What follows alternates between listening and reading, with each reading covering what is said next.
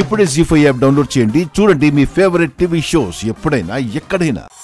రేపటి శ్రీకరం శుభకరం కార్యక్రమంలో రేపటి నుంచి కత్తరి ప్రారంభమవుతోంది. ఈ కత్తరిలో ఏ పనులు చేయొచ్చు ఏ పనులు చేయకూడదు అలానే వృశ్చిక రాశిలో జన్మించినటువంటి వారికి ఉండేటువంటి వ్యక్తిత్వం ఏంటి వాళ్ళ బలాలు ఏమిటి బలహీనతలు ఏమిటి ఏ దైవాన్ని ఆరాధన చేయాలి ఆత్మబలం తగ్గిపోతోంది శత్రుబలం పెరుగుతోంది అనుకునేటువంటి సందర్భంలో రేపటి నుంచి ఎటువంటి పరిహారాన్ని పాటించాలో తెలుసుకుందాం. జీ యాప్ డౌన్లోడ్ చేసి అన్ని ఎపిసోడ్స్ పూర్తి ఉచితంగా చూడండి.